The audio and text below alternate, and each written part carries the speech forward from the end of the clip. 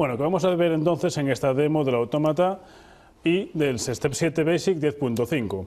Os comentaba al principio que tenemos una configuración ya realizada de lo que sería un control PID de la temperatura de un depósito, así como el control de nivel del mismo. Vamos a ver entonces cómo podemos hacer una introducción a Step 7 Basic para ver la configuración del hardware, una programación de PLC, programación de los paneles básicos HMI panel y, un proyecto de ejemplo, precisamente que se refiere a este control PID de este depósito. Directamente, si os parece, abremos el portal TIA. Vale. ¿Qué podemos hacer? Os decíamos antes que esto es un entorno normalmente muy intuitivo y muy sencillo para trabajar para el usuario, es decir, los primeros pasos que, que, tendríamos abrir un programa de control de PLC sería abrir un proyecto existente o crear un proyecto nuevo. En nuestro caso ya tenemos un proyecto llamado Universidad, ¿de acuerdo? Creado precisamente para esta demo. Lo abrimos, si os parece, es un proyecto que está completamente vacío, no tiene nada todavía configurado ni programado. Decíamos entorno intuitivo y aparte con mucho asistente, es decir, los primeros pasos habituales después de crear un nuevo proyecto en un PLC una pantalla de HMI, directamente los primeros pasos serían bien los dispositivos y redes, bien agregar un nuevo programa de PLC, bien agregar una nueva imagen de HMI. Tenemos las opciones entonces de agregar un dispositivo nuevo, sería mostrar todos los dispositivos ya existentes o bien agregar un dispositivo nuevo. Me va a preguntar, ¿qué quieres? ¿Un PLC o quieres una pantalla de HMI? Si os parece, lo más habitual sería comenzar por programar un PLC, configurar un PLC, directamente podríamos ponerle un nombre si quisiéramos aquí mismo y nos va a aparecer el árbol de los PLCs disponibles. Se me está cortando, me vais a tener que perdonar, por favor, porque estamos trabajando con una resolución muy baja por temas del vídeo, sobre todo, ¿de acuerdo? Este P7 Basic está pensado ya para una configuración de pantallas actual, 19 pulgadas más o menos, y una resolución lo suficientemente buena para trabajar con todas sus opciones de forma simultánea y con comodidad de trabajo. De todas formas, podéis ver que tenemos todas las opciones que nos ofrecen al seleccionar un PLC. Os aparecen los tres que comentamos en la gama nueva de PLCs, es decir, 12, 11, 12 y 14, los nuevos PLCs 7200, ¿de acuerdo?, si os fijáis, puedo seleccionar entre las tres opciones posibles, decíamos, que dependía del tipo de alimentación y el tipo de salida, si era por transistor o por relé, automáticamente eligiendo la referencia, por supuesto, me aparece una descripción detallada del tipo de PLC que estoy escogiendo. Si os parece, seleccionamos, por ejemplo, el, el autómata basado en DC, DC, DC. Lo agregamos y automáticamente Step 7 está poniendo toda la configuración asociada a este automata directamente en mi proyecto. Perfectamente, ¿qué es lo siguiente que hacemos siempre al integrar un PLC en un software de programación? Por supuesto, configurar su vista hardware. Permitidme un momento que os dé una vista general de lo que vemos en la vista de proyecto de Step 7 Basic. A la izquierda tendríamos un árbol de proyecto, es decir, un desglose de todas las opciones comunes a todo mi proyecto. En el centro tendríamos lo que sería el plato principal de esta ventana. En este caso estamos en la configuración de hardware. A la derecha tendríamos las opciones propias de las propiedades de esta ventana principal. Al mismo tiempo, las ventanas de propiedades detalladas las tendríamos en la parte inferior de la pantalla. Fijaos un detalle, yo tengo vista del portal y vista del proyecto, es decir, yo siempre puedo volver a la ventana principal del portal TIA y volver de nuevo a la vista del proyecto, ¿correcto? Dijimos que era un entorno intuitivo, es decir, yo puedo estar en la vista de dispositivos, imaginaos, por ejemplo, lo que quiero hacer es cambiar la configuración de dirección IP de mi PLC, perfectamente.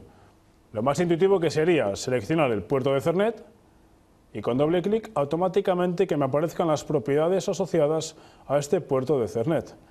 Directamente, direcciones de Ethernet, podríamos buscar la dirección de Ethernet y automáticamente cambiar su dirección IP.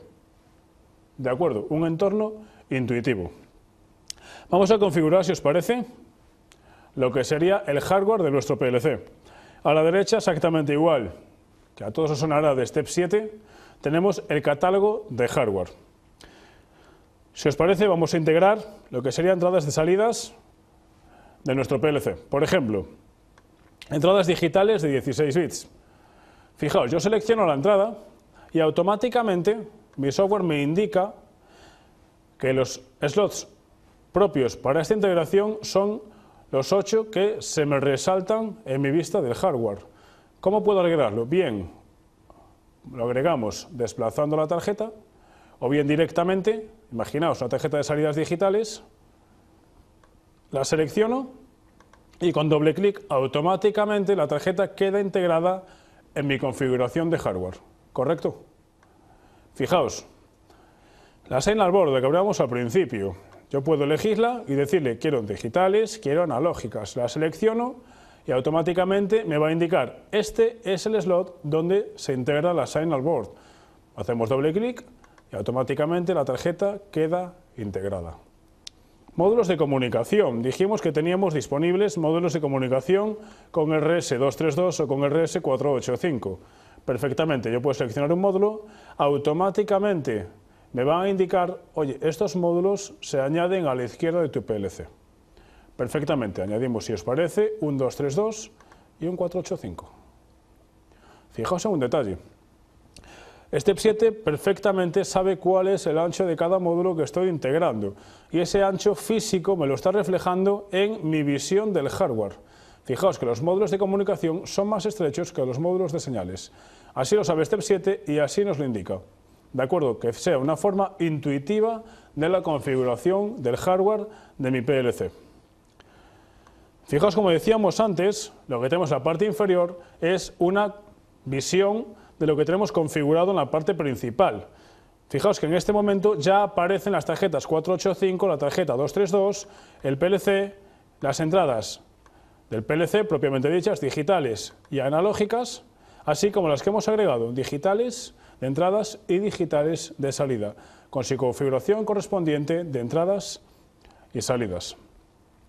Esto desde el punto de vista de hardware del PLC, ¿de acuerdo? Fijaos, a la izquierda, mi árbol de proyecto ya ha empezado a aparecer mi PLC. Por supuesto, lo primero que hemos hecho, configuración de dispositivo. La siguiente opción que nos brinda sería online y diagnóstico. Me vais a permitir, esta opción mejor la vamos a ver cuando tengamos cargado el proyecto de ejemplo, que sé que tenemos aquí montado.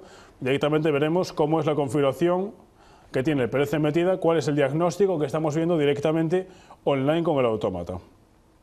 Lo siguiente que hacemos en un PLC tras configurar su hardware, obviamente es configurar su software. Ya tenemos por supuesto agregado el bloque principal, el OB1, y podríamos agregar un nuevo bloque. ¿Cómo se programa S7-1200? Exactamente igual con automata S7-300 o 400. Es decir, nos basamos en bloques de organización, bloques de función, FBs, funciones, FCs y bloques para datos, los DBs. Es intuitivo desde hasta el punto de vista que, fijaos, yo quiero un bloque de organización y directamente me va a indicar ¿qué quieres? El bloque de inicio, el bloque de arranque. Yo ya sé que este es el número 100. ¿Qué quieres? Un bloque, por ejemplo, de diagnóstico. Yo ya sé que ese es el número 82. De la misma forma, tanto en la programación de un OB como en la programación de un FB como en la programación de una FC, directamente, aparte del número que yo quiero integrar, me va a preguntar cuál es el lenguaje de programación. ¿Lo quieres KOP o lo quieres FUP? Correcto, directamente yo selecciono y automáticamente al crear el bloque se me abriría el editor de bloques ya pensado para este tipo de lenguaje. Si os parece, no vamos a hacer ningún programa complicado, con lo cual tampoco es necesario agregar bloques, ni funciones, ni nada parecido. Sí os quiero enseñar, no obstante, el entorno de programación. Fijaos, tengo aquí directamente mi bloque OB1 configurado para KOP, para el lenguaje KOP, bloque, en mi opinión, de los más sencillos que existen. Vamos a hacer una chorradita como sería añadir una entrada y una salida, ¿correcto? Si aparece la entrada, le ponemos la entrada binaria booleana 0.0. Fijaos, la entrada 0.0 automáticamente ha adquirido un nombre, tag 1. Es decir, mi autómata sabe que todas las variables van a estar asociadas con una representación simbólica. Correcto. Esto quiere decir que desde el momento que yo agrego esta variable a mi programa, en las variables de mi PLC, automáticamente aparece, aparece la tag 1 asociada con la entrada booleana 0.0. Del mismo modo, si yo aquí añado la salida 0, por ejemplo, ¿de acuerdo? Tipo booleano 0.0. ¿Esto qué quiere decir? Que yo puedo volver a mi OV1 y automáticamente decirle salida 0 y él perfectamente ya sabe que es la salida correspondiente a la 0.0.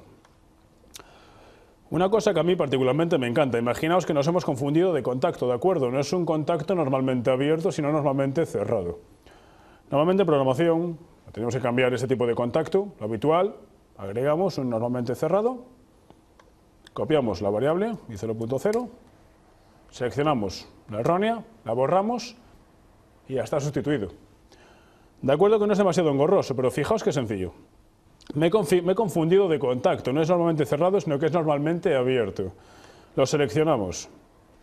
Aparece un triangulito amarillo. Me pongo encima, me va a aparecer un menú desplegable y me va a indicar para todos tipos de entrada, booleanas, cuáles son las opciones que tengo. Contacto normalmente cerrado, normalmente abierto o por flancos. Del mismo modo, las salidas. ¿Qué salidas booleanas puedo llegar a tener? Pues todas las que se os van a ofertar en el combo desplegable. Vamos a agregar una función. Fijaos, aparece una función con interrogantes. Esto quiere decir que agrego la función y me va a decir, de acuerdo, ¿qué quieres hacer? Me aparece un cuadro desplegable. Lo selecciono, me aparecen todas las opciones de funciones disponibles, ¿correcto? Imaginaos, por ejemplo, una función de adición, una función de suma, add. Perfectamente, me va a indicar lo primero, ¿qué quieres sumar? Todos los tipos de datos posibles para esta operación. Fijaos, lo que comentábamos cuando hablábamos de los huertos solares, aparece el tipo long real, tipo de datos de 64 bits. ¿De acuerdo? Del mismo modo aparecen todos los otros tipos de datos que se pueden trabajar directamente con este automata. Por ejemplo, en este caso, el tipo unsigned int, es decir, un entero sin signo que nos va a permitir, si vamos a trabajar con valores únicamente positivos, despreciar los valores negativos que a fin de cuentas no le vamos a sacar partido. Ponemos, por ejemplo, un tipo de datos entero, sumamos 3, sumamos 2, y perfectamente, imaginaos la salida mw0. Del mismo modo, estamos asociando la, variable de memoria mw0 a nombre simbólico tag 2. Una cosa más, fijaos. Aquí aparece, por supuesto, la risa de instrucciones que podemos hacer con nuestro PLC. Obviamente las instrucciones lógicas de programación de autómatas, operaciones con bits, temporizadores, contadores, comparadores, control de programa y demás. Imaginaos, por ejemplo, que utilizamos normalmente la función matemática que usamos hace un segundito, la función ADD. Perfectamente. Si la uso habitualmente, ¿por qué no puedo tener una ventanita que se acuerde? Añado mi función habitual, ADD y a partir de ese momento, con arriesgarla, perdón, con arrastrarla desde la ventana de favoritos, automáticamente tengo la función añadida en mi programa.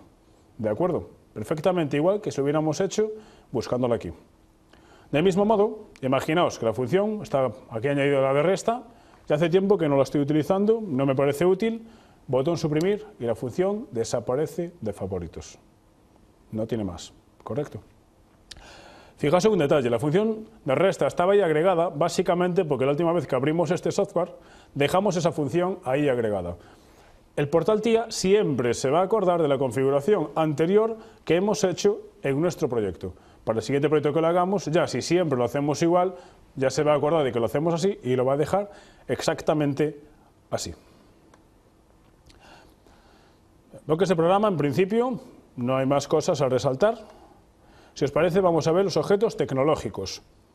Hemos dicho que la principal, la principal ventaja que ofrece S7200, así como el software de configuración Step 7 Basic, son los objetos tecnológicos y los asistentes para los mismos. Principalmente dos, el control de ejes, de motion control, y el control de regulación basado en PID.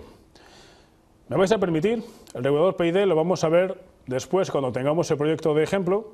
Directamente vemos este regulador, y vemos su versión online, así como su autoajuste. Con lo cual, para esta versión ahora mismo vamos a ver un control de ejes. Directamente lo aceptamos y automáticamente Step 7 está configurando nuestra salida adaptada a un control de ejes, basada obviamente en una salida rápida. La primera opción, ¿cuál es? Obviamente seleccionar cuál es la salida. Me está diciendo, seleccioname cuál es la salida del tren de pulsos para el control de ejes. Perfectamente, le dijimos la salida de pulsos 1. No obstante, el autómata, perdón, el software se está quejando, está diciendo, oye, que el generador de impulsos no está activado en la configuración del dispositivo. Es decir, tú me estás obligando a trabajar con una salida rápida, pero a mí en ningún momento me has dicho que esa es una salida rápida. Con lo cual, ¿qué es lo siguiente que se me oferta? a la derecha justamente del error ya vamos a tener el botón de configuración de dispositivos. Automáticamente el portal me va a llevar a la configuración de mi PLC, concretamente a la salida digital 0, perdón, a la salida digital de contagio rápido, y ya me va a decir, oye, actívame este generador de impulsos. Si activamos esta opción, automáticamente lo parametrizamos directamente como un generador de impulsos para PTO, para tren de pulsos, y fijaos, si yo ya me vuelvo directamente a mi control de ejes, ya no tengo el error, directamente esa salida de pulsos 1 ya está asociada a un control PTO. Fijaos en un detalle más. Todas las ventanas que hemos ido abriendo hasta ahora están directamente agregadas a la parte inferior de la visión de mi ventana, con lo cual me puedo desplazar de, por ellas de una forma sencilla y rápida. Seguimos con el control, el motion control, tenemos agregada la salida, ¿vale? parámetros avanzados, los que configurarían nuestras librerías de PLC Open, señales del accionamiento, típicas entre la CPU y el propio accionamiento, la mecánica, cómo es el motor, revoluciones, vigilancia de posición, dónde está el motor, la dinámica, es decir, cómo voy a configurar mis gráficas, ¿de acuerdo? De una forma intuitiva, gráfica y sencilla. ¿De acuerdo? Vamos a ver siempre gráficas y siempre valores asociados a las propias gráficas que, por supuesto, podré modificar a mis necesidades. Desde el punto de vista Motion Control, en principio nada más, varias BRC las hemos visto. No me voy a parar demasiado en las demás opciones que nos oferta, básicamente porque es algo que cualquier software de configuración de autómatas oferta, como por ejemplo sería agregar una nueva tabla de observación, es decir, yo voy a poder obviamente ver las variables de mi PLC, así como poder forzar su valor, ¿de acuerdo? Como indico, es algo que hacen habitualmente todos los editores de automatismos, con lo cual pues no es una diferencia principal, sino que simplemente, por supuesto que es capaz de hacerlo. Si os parece, vamos entonces a una configuración de una pantalla. PLC configurado, configuramos una pantalla. ¿Cómo lo hacemos? Perfectamente podríamos directamente agregar un dispositivo, o si os parece más cómodo, podemos ir a vista del portal nuevamente, donde estamos al principio cuando agregamos el PLC, puedo indicarle que en este caso lo que yo quiero es agregar una pantalla de HDMI. Hemos dicho que salían ahora mismo en esta primera entrega cuatro tipos principales diferentes, básicamente diferenciándose en temas de tamaño. Si os parece, agregamos, por ejemplo, una pantalla de 6 pulgadas. Automáticamente yo selecciono la pantalla, me aparece el dibujo de la pantalla y una descripción. Si cambio de tipo de pantalla, fijaos que la pantalla cambia. ¿De acuerdo? Algo intuitivo, algo sencillo para nuestra programación. Agregamos la pantalla, permitidme que os indique una cosa que creo que no comenté antes. Las pantallas si yo estoy acostumbrado a programar pantallas con WinCC flexible, ¿de acuerdo? No tengo por qué cambiar a Step 7 Basic. ¿Nos parece más sencillo sí? Y si no, no es necesario. Las pantallas son perfectamente configurables tanto desde Portal TIA como lo serían desde el WinCC flexible. Perfectamente y no hay ningún tipo de problema. ¿Qué hemos hecho al agregar la pantalla? Automáticamente el portal TIA me acaba de agregar esta pantalla a mi proyecto donde ya estaba integrado el PLC. ¿Cuáles son los pasos básicos que hacemos con una pantalla? Siempre son los mismos.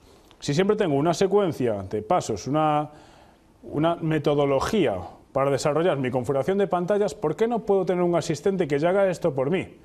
Perfectamente. ¿Cuál es la primera cosa que hacemos con una pantalla?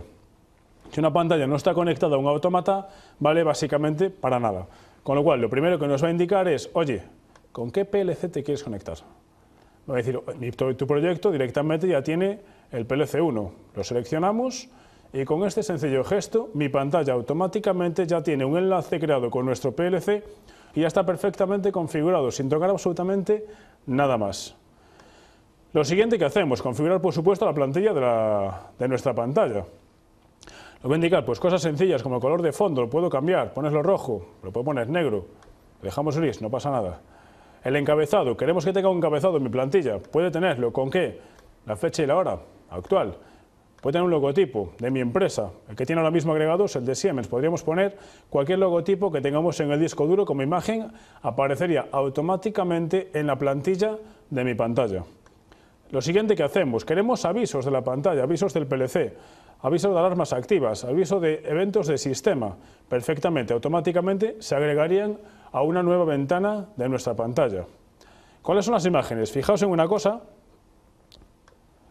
la pantalla ya tenía configurado un montón de imágenes, por lo que os comentaba antes. Yo, la última vez que abrí el portal TIA, directamente fue esa la configuración que dejé, con lo cual él se va a acordar, va a decir, si esta es la configuración que te gustó antes, a lo mejor es que sigue siendo lo que te gusta ahora.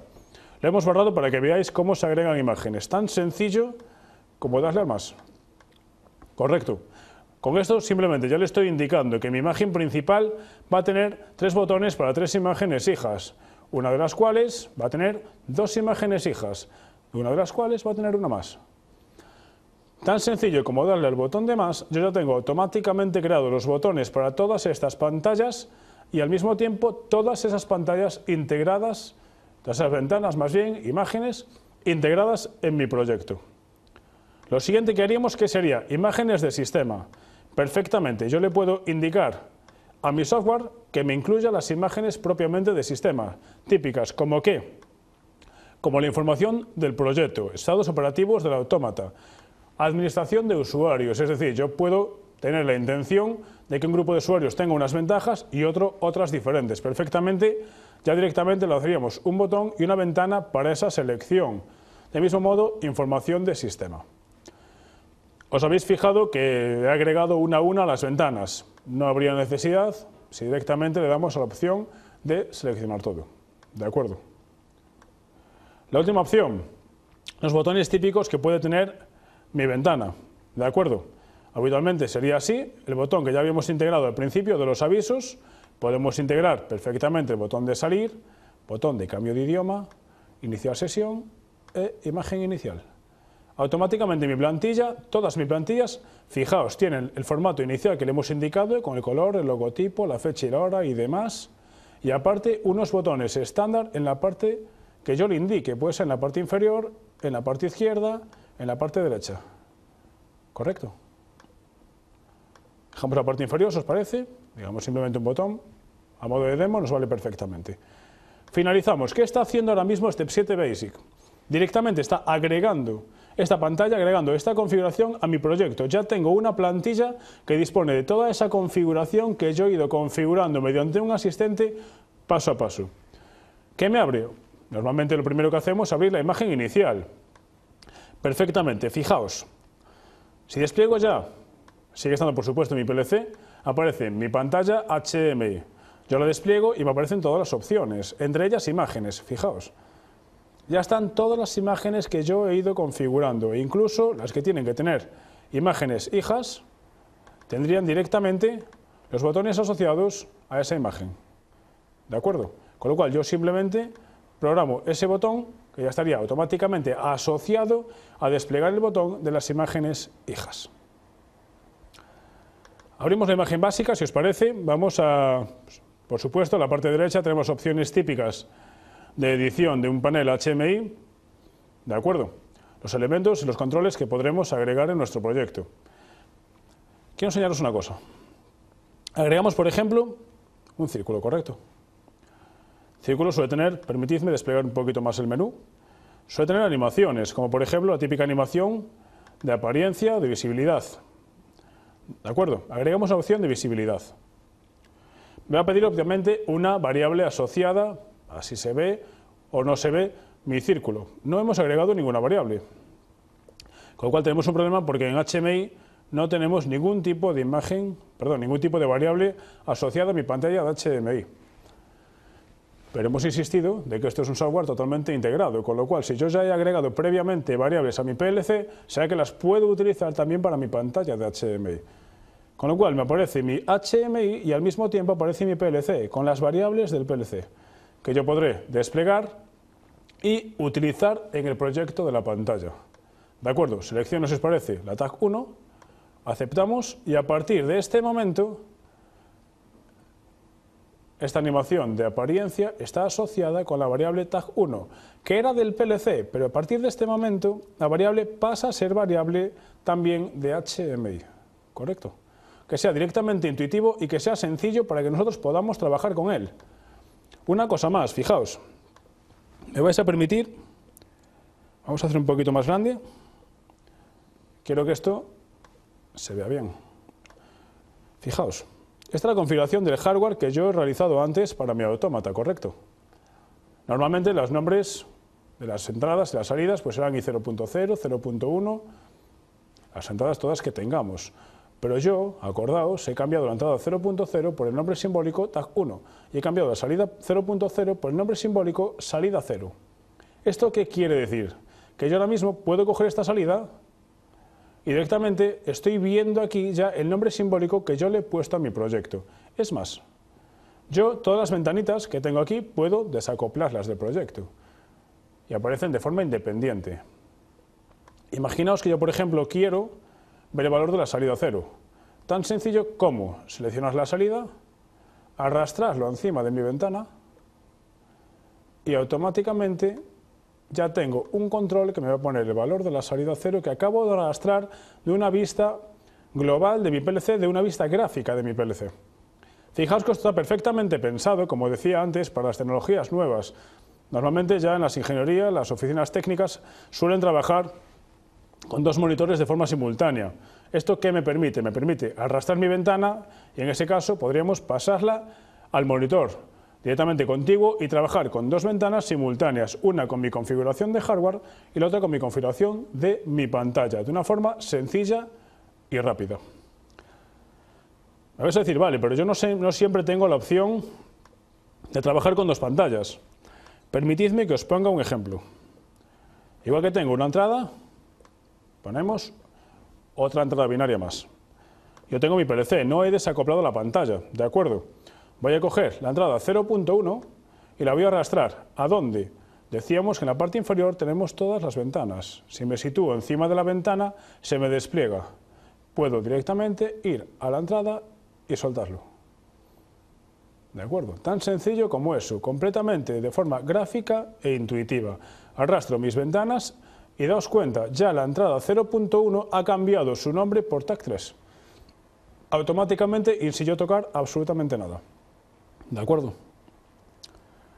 Desde el punto de vista de las pantallas, en principio nada más. Por supuesto tenemos todas las imágenes, variables de HMI, veníamos las conexiones, en principio la que tenemos, la que creamos antes con el autómata, ya creada propiamente por el propio asistente del portal TIA. Vamos a pasar ya, si os parece, a la configuración de la demo que tenemos para ver un proyecto en funcionamiento con un PID y con un control de temperatura. Si fijáis lo que tenemos aquí, básicamente es un autómata con una configuración bastante similar a la que hemos creado nosotros ahora mismo en esta, en esta demo de aplicación. Tenemos una serie de salidas serie 485-232 tenemos las entradas analógicas que nos van a permitir estar leyendo constantemente un sensor de temperatura que está dentro de esta caja. El sensor de temperatura se va a encargar de darnos la realimentación del lazo cerrado de nuestro PID. Al mismo tiempo, ¿cómo controlo esa temperatura? Tenemos una bombilla que se va a estar encendiendo y apagando para intentar mantener ese nivel de temperatura que yo le estoy exigiendo. Al mismo tiempo tenemos un efecto perturbador, que sería un ventilador que yo puedo ajustar a más nivel o a menos nivel para que ejerza más, cree más o menos situación de perturbación, de frío, con lo cual no se enfríe de forma natural, sino por un efecto perturbador. perturbador. Del mismo modo tendré que tener configurado perfectamente mi bloque PID para que sea capaz de trabajar tanto con la consigna como, como con este bloque de perturbación. ¿Dónde, tengo que, ¿Dónde puedo realizar el control de este PID? Directamente desde mi pantalla. De acuerdo, en la pantalla voy a tener posibilidad de configuración de usuarios y configuración de mi dispositivo. Es decir, puedo llenar, puedo vaciar el depósito, puedo aumentar o puedo disminuir la temperatura.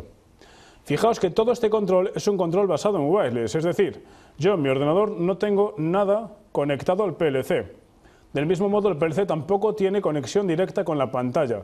Me estoy aprovechando precisamente de que tengo un PLC y una pantalla que permite configuración por Industrial Ethernet, que permite ese tipo de comunicación, para aprovecharme de la principal, de una de las principales ventajas que ofrece Industrial Ethernet, como en este caso la, la comunicación inalámbrica. De este modo, entonces, desde mi pantalla, de forma remota, puedo configurar y puedo programar y puedo controlar y verificar el estado de mi PLC. Vamos a abrir el proyecto, si os parece bien. Tenemos el proyecto demo creado precisamente para la demostración de hoy. Abrimos el proyecto y nos aparece exactamente la misma ventana que teníamos en la forma, la versión previa que hicimos, la demostración previa. En este caso ya están los dispositivos creados, con lo cual directamente, si os parece bien, nos vamos a la vista del proyecto.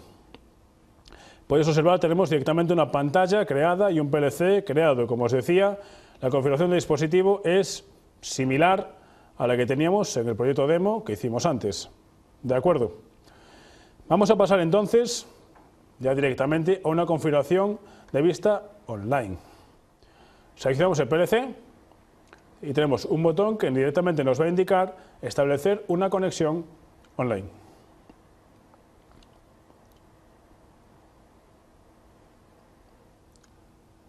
¿Qué estoy consiguiendo creando una conexión directa con el autómata?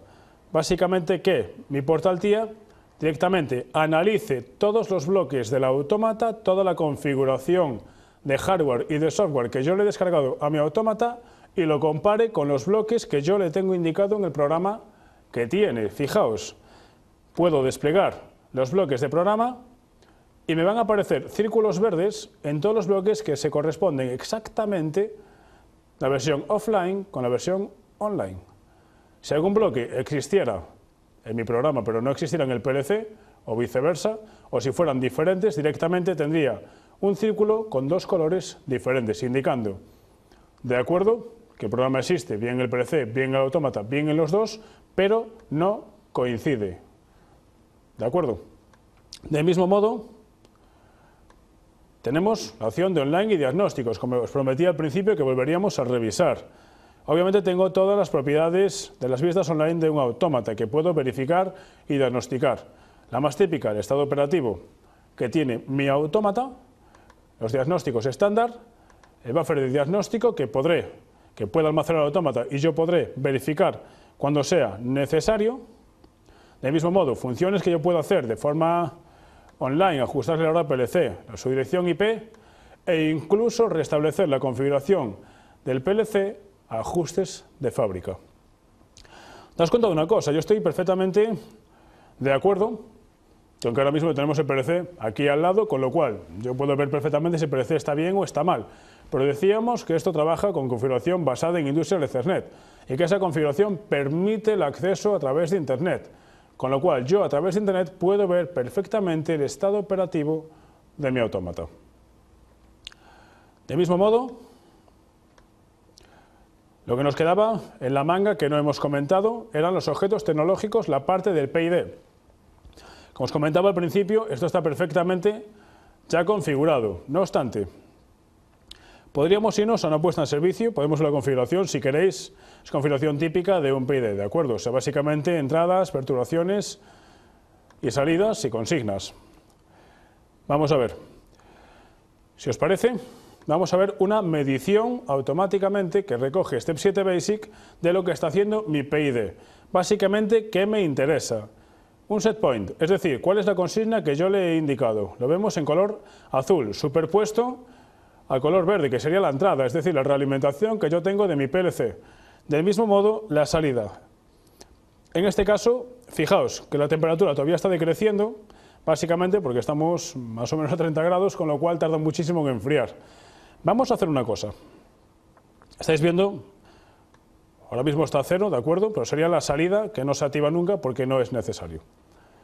Vamos a correr la pantalla HMI que os enseñamos antes, que estaba conectada mediante wireless, la vamos a ejecutar desde aquí. Vamos a ejecutar una runtime directamente desde mi portal TIA y que yo pueda tomar el control exactamente igual que lo haría desde la pantalla HMI. Lo que queríamos hacer, ver el PID nuevamente. Fijaos, nuevamente tengo dos líneas que me indican cuál es la consigna y cuál es la entrada que estoy recibiendo por realimentación. Vamos a aumentar la consigna, lo ponemos a 40 grados y automáticamente mi software, mi PID, intenta seguir esa consigna. Fijaos en un detalle, aquí arriba tengo indicado cuál es la realimentación de perturbación que tengo, ¿de acuerdo? En este caso, el ventilador que comentábamos al principio, y cuando la temperatura vuelva a bajar de 40 grados, tendríamos nuevamente la activación de la bombilla para mantener esa temperatura. Vamos a darle un poco más de temperatura, ¿de acuerdo? Ponemos a 50 grados y fijaos que la bombilla permanece constantemente encendida hasta llegar a esa temperatura, ¿de acuerdo? Mi control PID va a intentar ajustarse perfectamente a los 50 grados. ¿De acuerdo? Esto que estaría viendo, en este caso, en mi pantalla. Fijaos, ahora imaginémonos que estamos perfectamente ya en una fábrica trabajando, con lo cual, efectivamente, hay operarios que supervisan el funcionamiento y gente que toma la decisión del funcionamiento. Hablaríamos de un supervisor y de un controlador. Yo como supervisor puedo ver efectivamente cuál es el nivel de mi depósito y ver la temperatura, aumentarla o disminuirla, pero no puedo cambiar el nivel del depósito. Le pido un control y me pide directamente una contraseña de inicio de sesión. Los usuarios que comentábamos antes. Admin admin sería nuestra contraseña en este caso si aceptamos, a partir de este momento yo ya puedo pasar a realizar el control de mi depósito. Bien llenarlo, bien vaciarlo, bien realizar una parada y acusar un rearme. Desde el punto de vista de la simulación de la pantalla, en principio nada más. Pero quiero que reparéis en una cosa. Fijaos, mi control PID, desde el momento que yo le he mandado un cambio de consigna, se ha molestado en activar la salida para seguirlo lo más próximo posible. ¿De acuerdo? Y yo, sin embargo, estoy recogiendo aquí constantemente los datos de esta regulación.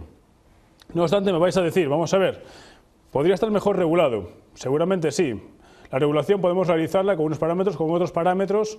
La que me gusta no es esa, hemos cambiado, eh, la perturbación es más fuerte de lo que consideramos en un principio. Nos hace falta un reajuste del PID. Perfectamente, yo voy a tener aquí la opción de, realizar nuevamente un autoajuste. Decimos autoajuste de primer arranque, inicio del autoajuste. Me va a decir error. Error iniciar el autoajuste de primer arranque. ¿Por qué? Ya fue autoajustado en su momento, ¿de acuerdo? Seguramente con otros parámetros, pero ya fue ajustado en su momento. Con lo cual le voy a decir, no, mira, ajuste en el punto de operación. Es decir, lo que tienes ahora ajustalo tal cual lo tienes ahora. Creamos autoajuste nuevamente. A partir de este momento, el PLC, por decirlo así, toma el control propiamente del PID, va a tomar el control de su consigna, su propia consigna, sus salidas, sus entradas, va a regularme, va a controlar, va a ajustar los parámetros PID, es decir, los proporcionales, integrales y derivativos, va a dejar la configuración más exacta a lo que tenemos en este momento, cuando termine me indicará que el autoajuste está completado y yo directamente podré cargar los parámetros PID directamente en mi proyecto. ¿De acuerdo? Estáis viendo que es una cosa bastante sencilla, bastante intuitiva y que no tiene ningún tipo de complicación, tanto como darle un botón para iniciar un autoajuste. Conclusiones a las que llegamos después de ver la presentación de todo lo que nos oferta este nuevo este nuevo autómata de Siemens, esta nueva gama de paneles HMI y este nuevo software de configuración. Principalmente, habéis visto, yo utilizo el mismo software hablando de pantallas, hablando de PLCs. El software es completamente intuitivo, completamente gráfico, siempre me va a guiar hacia dónde tengo que ir.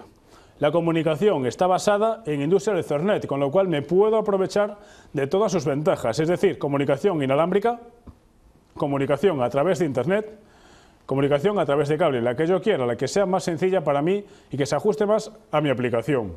Tengo asistentes para utilizar las ventajas que tiene el 1200, asistentes para motion control, asistentes para control en PID. Con lo cual, beneficios para el usuario, principalmente La programación bajo un mismo entorno, gráfica e intuitiva. La comunicación se realiza a través de Industrial Ethernet, con todas las ventajas que esto puede darnos. Comunicación entre mucha más cantidad de PLCs, comunicación más rápida, comunicación más flexible, que se adapte siempre lo máximo posible a nuestras aplicaciones. Con lo cual, aparece el nuevo PLC S7 1200, aparece una nueva gama de paneles, la panel Basic Line, los HMI Basic Panels. Aparece un nuevo software de configuración para ambos dispositivos hardware. Esto es un juego en equipo que marca la diferencia. Muchas gracias.